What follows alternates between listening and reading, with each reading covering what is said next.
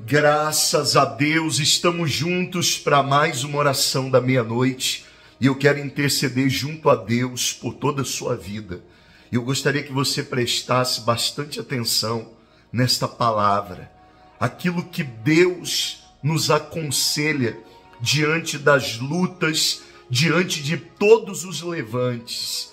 Em Isaías capítulo 43, no versículo 18, ele fala assim: Não vos lembreis das coisas passadas e nem considereis as antigas.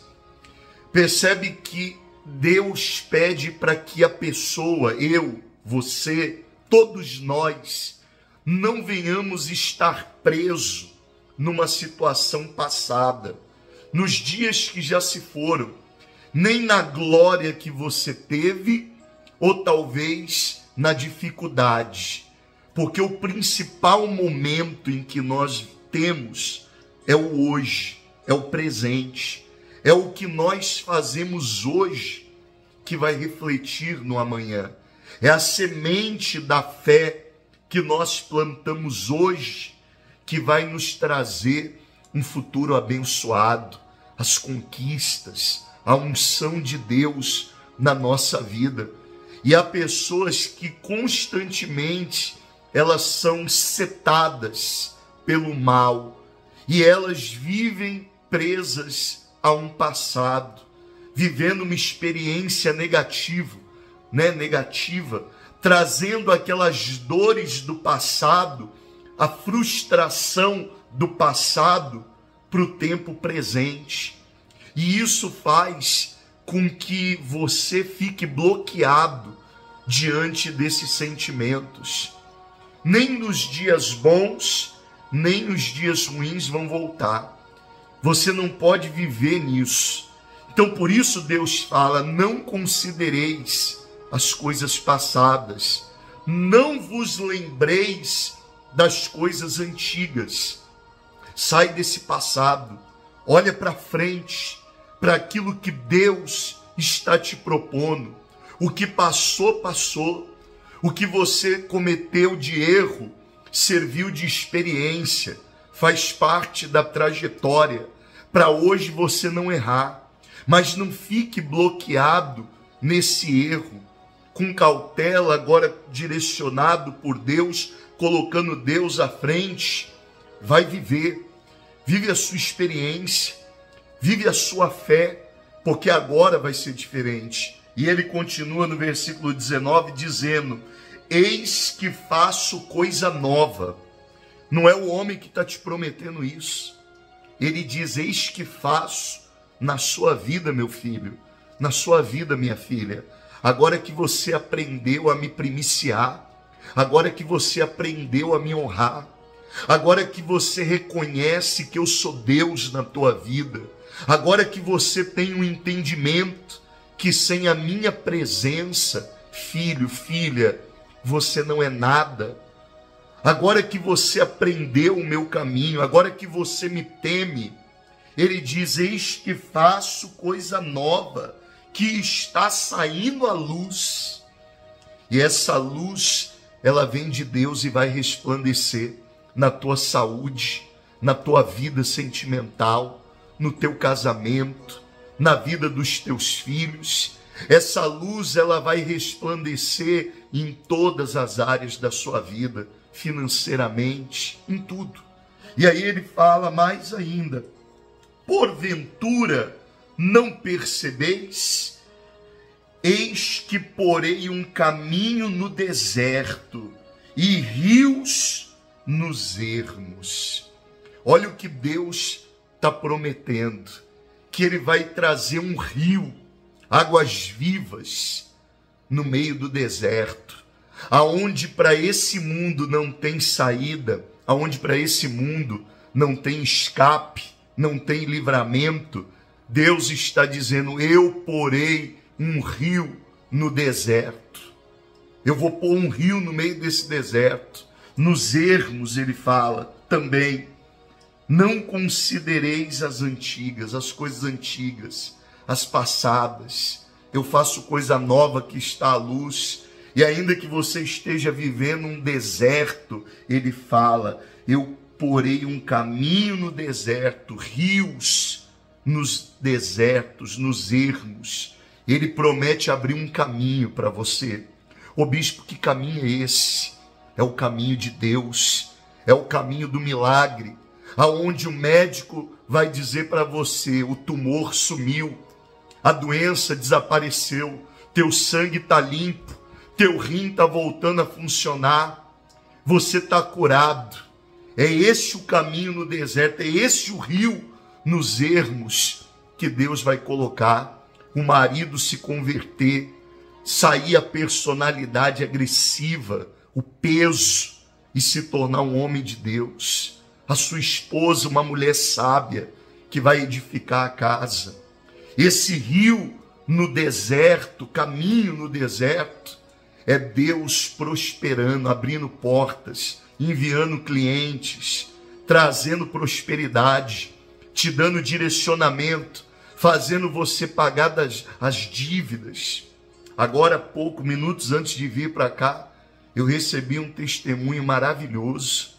Uma pessoa que pagou, acredite você se quiser ou não, mas uma dívida na casa do milhão.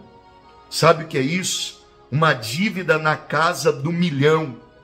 Essa pessoa acabou de enviar esse testemunho. Ela pagou, Deus honrou, prosperou e ela pagou. Sabe o que é isso? É o poder de Deus. Então, não importa a gravidade da situação. Eu sei que a luta é grande. Eu não estou dizendo que é fácil, que é gostoso, que é leve. Eu sei que a sua pressão é grande mas você não pode desistir. Tem muita gente torcendo para o teu mal, sabe? Tem muita gente invejosa que está torcendo para você desistir, que está torcendo para você abrir mão da sua vitória, para você baixar a guarda, para você desistir, para você parar de lutar. Não dê gosto para essas pessoas. Faz com que elas vejam a glória de Deus na tua vida.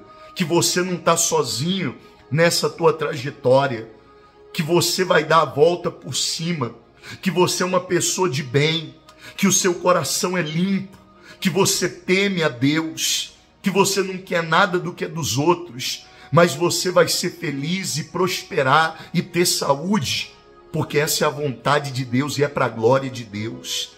Então se levanta, se recompõe, nada está perdido. Deus é na sua vida.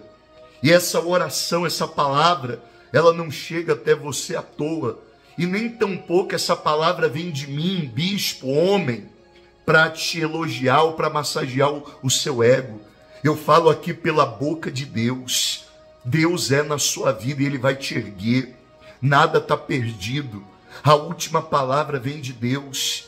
E eu digo para você, na unção do Espírito Santo, ele vai colocar um caminho no deserto. Ele vai colocar rios, águas vivas nos ermos, nesse deserto. Ele vai te saciar. Você vai dar a volta por cima. Quem estava torcendo para o teu mal vai ter que ver a glória de Deus na sua vida. Gostando ou não gostando, vão reconhecer que Deus é na sua vida. Então, essa é a palavra que Deus está te entregando. Isaías, capítulo 43, versículo 18 e 19. Eu quero orar em cima dessa palavra. Mas antes eu quero pedir que você escreva aqui o seu, nos comentários o seu nome e essa frase de poder. Deus coloca rios no deserto. Escreve isso, porque isso testifica da legalidade e isso vai mover o lado espiritual, o ser espiritual. E enquanto as pessoas vão escrevendo isso, você que está aqui pela primeira vez, seja muito bem-vindo nesse canal de oração. Não falamos de religião, não falamos de denominação, de placa de igreja, de nada. Apenas da palavra e ministramos a oração em nome de Jesus. E eu quero trazer sobre a sua vida uma cobertura espiritual. E vale dizer, quando eu digo cobertura espiritual, não quer dizer que eu, ser humano, homem, pecador, vou te proteger de algo, nada disso.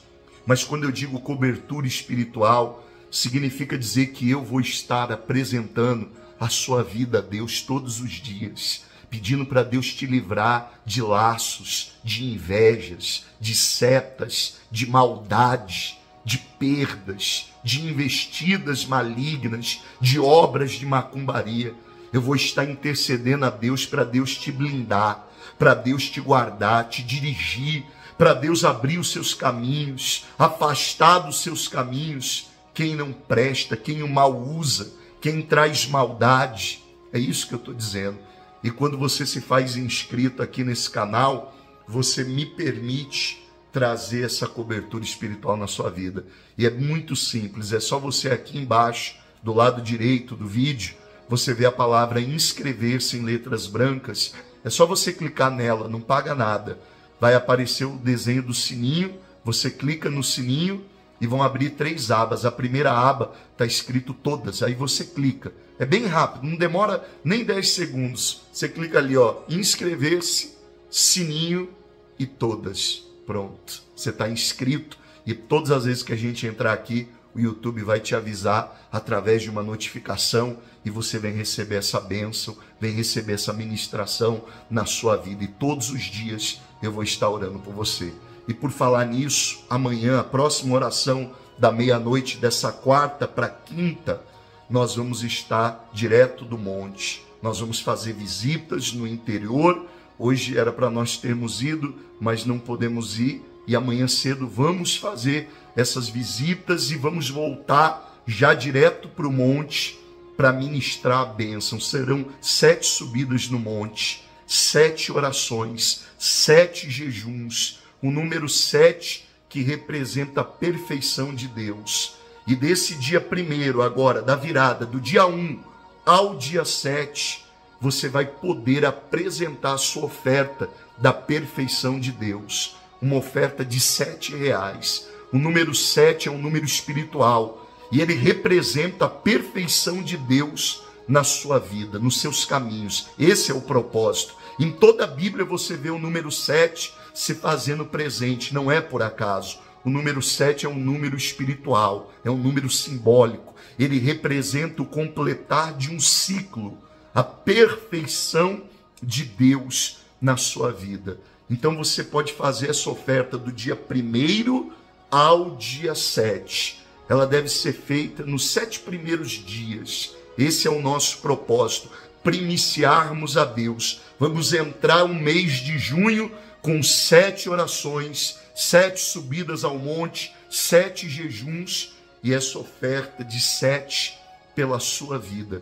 Você pode fazer pelo marido, você pode fazer pelo um filho, por uma filha, por toda a sua casa, por alguém que você deseja ver o bem na vida dele. Você vai usar a sua fé e Deus tem honrado a nossa perseverança, esse propósito e eu sei que Deus ele vai fazer na sua vida, tá bom, gente? Aqui está o meu copo com água preparado.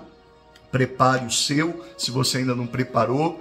Vamos colocar aqui peças de roupa, eu já estou com as da minha família aqui. Também está aqui alguns nomes, fotos que nos foram enviadas. Você pode fazer o mesmo, carteira de trabalho, currículo, tudo que representa aí a tua fé, a tua luta, Deus vai trazer a vitória. Vamos falar com Deus nesse momento.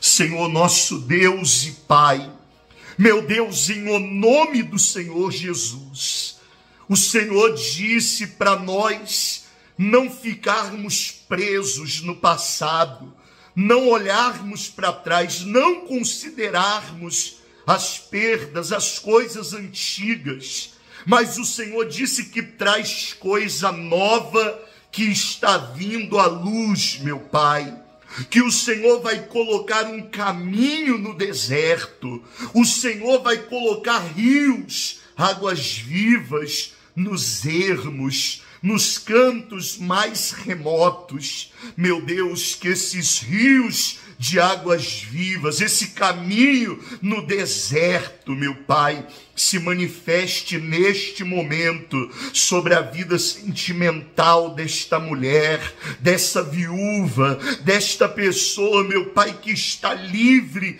e desimpedida, Senhor, que deseja ser feliz no amor, que deseja ter alguém ao seu lado, meu Deus, para compartilhar os momentos. Meu Deus, prepara a pessoa certa, prepara uma mulher de Deus para esse homem, para essa mulher, um homem abençoado, temente ao Senhor, que te busque, meu Pai, um homem de fé, fervoroso, que tema ao Senhor, meu Pai, que venha ser o chefe desta casa, meu Deus abençoe, prospera, que ela, meu Pai, seja amada, que ela tenha, meu Deus, um relacionamento sadio, que ele, Senhor, tenha uma mulher sábia ao lado dele, Pai, para edificar essa casa. Meu Deus, em nome do Senhor Jesus, desamarra, meu Pai,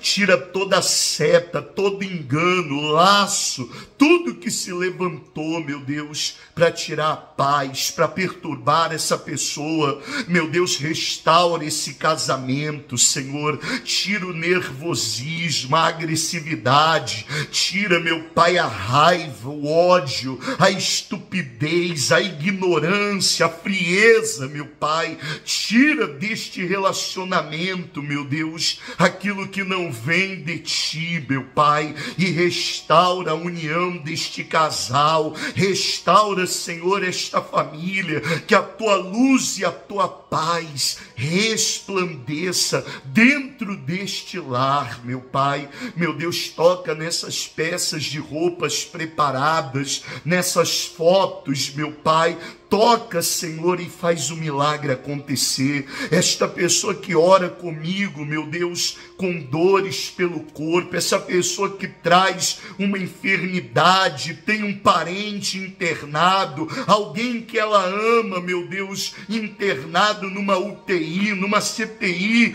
pessoas que foram desenganadas pela medicina, meu Pai a última palavra vem do Senhor, então toca restaurando, meu Pai, tirando esse câncer, tirando do pulmão essa água, essa mancha, essa asma, essa bronquite, meu Pai, essa tuberculose, essa insuficiência respiratória, esse reumatismo, essa diabetes, essa trombose, essa doença de chagas, meu Pai, essa pressão descontrolada, essa artéria obstruída, a cegueira, meu Pai, a surdez, a paralisia, essa sequela de derrame, meu Deus, essa ferida que não seca, meu Pai, que do alto da cabeça até a planta dos pés, todo mal seja desfeito, seja repreendido neste momento, essa angústia, essa tristeza, depressão, desânimo, meu Pai, essa perturbação na mente, essa inquietação, a insônia, meu Pai, essa pessoa que só tem vontade de chorar, de sumir, de desaparecer, Senhor. Meu Deus, desfaz o mal, abre portas e caminhos, meu Pai, prospera essa empresa, tira essa pessoa da dívida, meu Pai, como esse testemunho que nós recebemos, dívida de milhões, meu Pai, que foram quitadas, Senhor, abre caminhos prosperando e que todo mal, inveja, olho grande, meu Pai, todo ataque espiritual, toda obra de macumbaria, feitiçaria, em nome de Jesus, saia desta vida, saia dos caminhos, meu Deus, consagra, unge e abençoe estas águas, meu Pai. Seja o remédio dos céus, o remédio infalível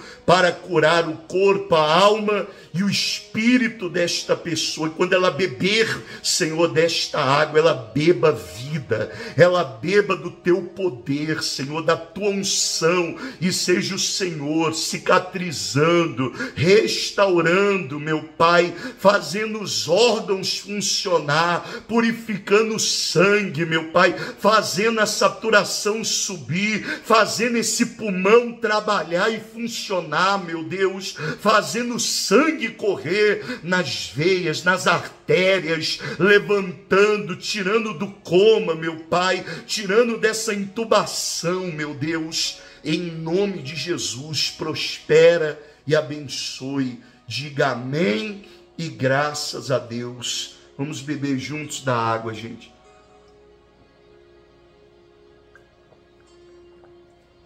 Lave a sua mão, como a gente sempre faz. Rosto. Lave os locais onde você sentia dores, onde havia uma ferida. Lança na tua coluna, nos teus cabelos que estavam caídos. A senhora que foi uma mulher invejada. Deus está colocando rios nos ermos, caminho no deserto. Essa é a palavra.